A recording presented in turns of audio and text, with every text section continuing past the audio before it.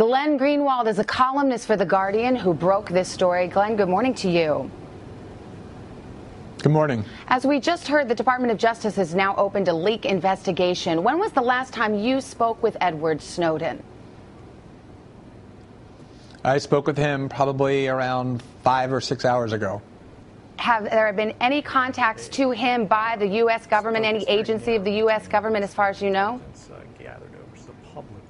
No, I don't believe there has been any. I'm not sure that they actually know where he is or how to communicate with him, and they have not communicated with him to my knowledge. Glenn, in the video, as we just saw, Snowden makes what I consider to be a, a rather remarkable claim, stating, quote, I, sitting at my desk, certainly had the authorities to wiretap you, your accountant, a federal judge, even the president if I had a personal email. Let's make a distinction here. He didn't say that he had the ability to do it, for example, if he went rogue. He said he had the legal authority to do it. Did you follow up and ask him what legal authority that purports to be?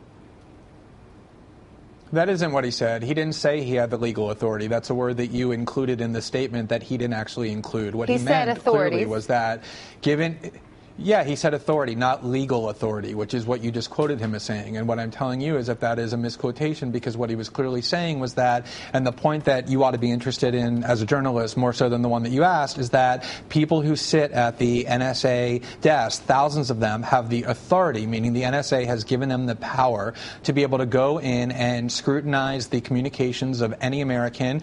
It may not be legal, but they have the power to do it. And because all of this takes place in the dark with no accountability and no checks. That's the reason why he felt so compelled to inform his fellow citizens about the capabilities this massive surveillance apparatus provides because it's so conducive to abuse. But it is an interesting point, right? I mean, he's saying it is conducive to abuse, but what he isn't saying is that doing so would be within the strictures of U.S. law. In fact, that, in other words, that U.S. law allows him to do something like this.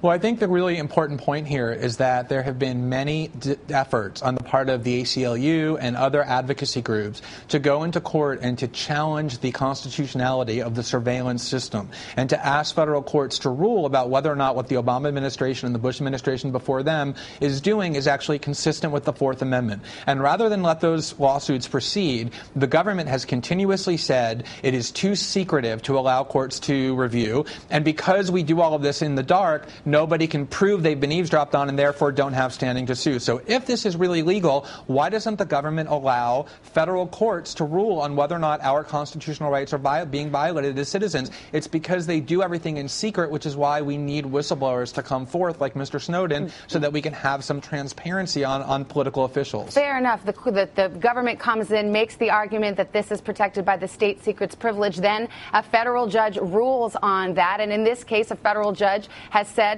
that the state's secret uh, privilege was asserted properly. That is within the law, is it not? Right. Actually, that's not at all what happened. What happened was the ACLU went into court and asked for a ruling on the constitutionality of the law. And what the federal government said is you have no ability to prove that your clients were actually eavesdropped on. You can't prove they were subjected to surveillance because everyone that we surveil, we keep that a secret. And therefore, your clients have no standing to sue. Part of what the documents include that, that he turned over is a list of the people that the U.S. government has been targeting. And one of the reasons he did that was so those lawsuits finally can proceed, so that we can now know who has been subjected to this surveillance, so they can go into court and ask a court ruling for a court ruling on whether or not this is a violation of the Constitution to have this massive surveillance system aimed at millions of Americans, regardless of whether there's evidence of any wrongdoing. And then finally, as you well know, the Director of National Intelligence, James Clapper, called these revelations literally gut wrenching. In response, you tweeted, Save some melodrama and rhetoric for coming stories you'll need it. Right, because in every single case over the past four to five decades, when there are revelations of wrongdoing that is done in secret, what the strategy of the U.S. government is, is to come out and try and scare the American public into saying, these people have jeopardized you, there's going to be a terrorist attack. There is not a single revelation that we provided to the world that even remotely jeopardizes national security. The only thing that has been jeopardized is the reputation and credibility of the people in power who are engaged in this massive spying program and wanted to to do it in the dark. And we, as journalists, I think our number one obligation should be not to allow government officials to scream terrorists and try and scare people every time there's transparency brought to them, but instead scrutinize whether those claims are valid. And there's not anything that we disclose to the world that can remotely or conceivably be said to harm national security in any way. All right, Glenn Greenwald, thank you for your perspective this morning. We appreciate it.